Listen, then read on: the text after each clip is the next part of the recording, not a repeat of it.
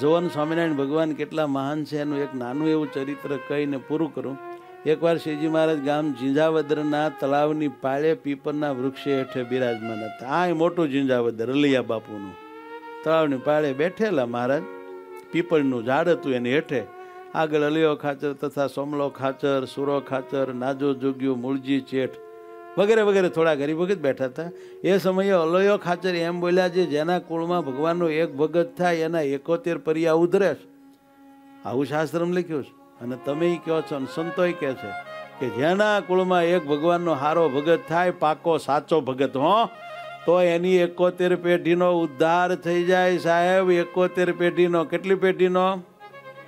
સિત્તેર ને ઉપર એક. હા, પાંત્રી આગલી ને પાંત્રી પાછલી. અને એક પોતે એકોતેરમી. આમ એનો હિસાબ છે. તો હે મહારાજ એ વાત સાચી છે. મહારાજ કે કેમ નહીં? તો પછી અમારા કુળનો ઉદ્ધાર થાય અરે અલૈયા, તમારા જેવા ભક્તનું કુળ ઉધરે, એમાં તો શું કેવું ઉધરે જ? તો પછી મહારાજ એક પ્રશ્ન પૂછી લો થોડો વાંકો અટપૂટો છે. પૂછો પૂછો. હે મહારાજ, મારા બાપાનો બાપ હામંત ખાચર. એનો ઉદ્ધાર થાય? મહારાજ કે, તમારે પારખ્યું કરવું છે, કાંટીભાઈ? અરે મહારાજ, તમ જેવા પ્રભુ મળ્યા હોય ને પારખ્યું ન મળે એવું બને ક્યાંથી? કાંઈક એંધાણી દો તો ઠીક. અય ભગત અહીંયા અહીં બેસ. આમ કર્યું ને ભગત ગયા સમાધિ હે? તરત. અને ત્યાં અલયા ખાચરના કુળના કેટલાકને ધામમાં બેઠેલા જોયા. એમાં એના પિતામને પણ જોયા.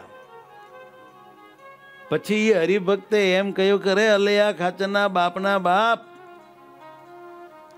તમે આ ધામમાં આવ્યા છો કે હા? તો કે, તમે અહીં આવ્યા છો, એની અલોયો કાંઈક એંધાણી માગે છે. એ એમ કહે છે કે મારે ડોહો ધામમાં જાય એવો નથી, ગયો જ ન હોય ને ગયો હોય તો અમને કંઈક પાકી એંધાણી આપે. એંધાણી આપો. તમે અહીં આવ્યા કેવી રીતે? ત્યારે ડોહો બોલ્યો કે સ્વામિનારાયણ, સર્વોપરી અક્ષરધામના અધિપતિ પૂર્ણ પુરુષોત્તમ નારાયણ પરમાત્મા પ્રગટ શ્રી હરિના આશ્રિત થયા. અમારા છોકરાઓ, એની કંઠી, એની પૂજા, એના સાધુના ભગવાનના અમારે ઘેરે ઉતારા થયા. એ અમે કાંઈક રડેલું, ભેગું કરેલું, એને દઈને આવેલા એ બધું એણે ભગવાન અર્થે સાધુને અર્થે વાપર્યું, મારું ભેગું કરેલું. એનું મને અઢળક પૂન થયું કે અમે ગમે ને ખાપક્યા હતા ત્યાંથી નીકળી ગયા ના એ ધામમાં આવ્યા કે.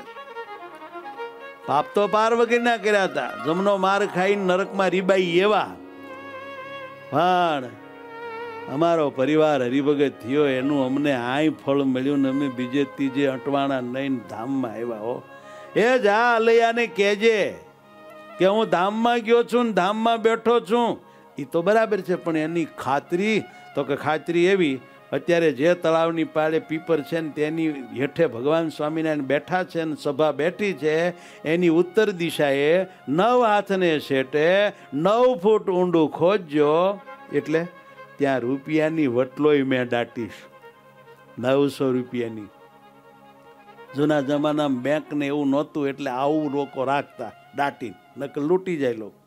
હે કે નવાચ ઊંડી નવસો રૂપિયાની. વટલોય દાટી છે તે કાઢી લેજો, એ અંધાણી છે. જાઓ. એમ કહ્યું, પછી એ ભગત સમાધિમાંથી જાગ્યા અને દેહમાં આવ્યા અને મહારાજને એને આખી સભાને આ વાત કહી દેખાડી.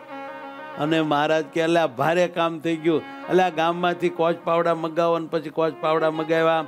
અને કીધું, બરાબર, આ પીપરથી આમ માપો માપો. ઉત્તર દિશામાં, હો? હા, નવ વાત છેટે.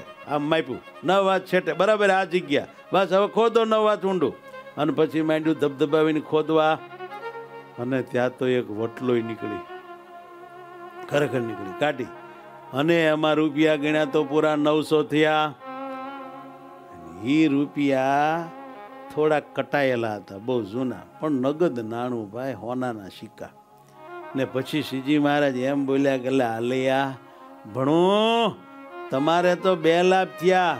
કુળનો ઉદ્ધાર થઈ ગયો એ લાભ થઈ ગયો, એની ખાતરી થઈ ગઈ ને વળી નવસો રૂપિયા રોકડા આવ્યા તમે તો ફાવ્યા તો કે, મહારાજ, આ થોડા માર રખાય.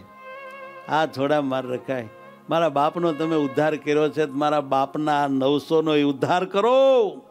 એ તમારે અર્થે ને સંતોને અર્થે વાપરી નાખો, અમે તો તમારી કૃપાથી સુખી છીએ.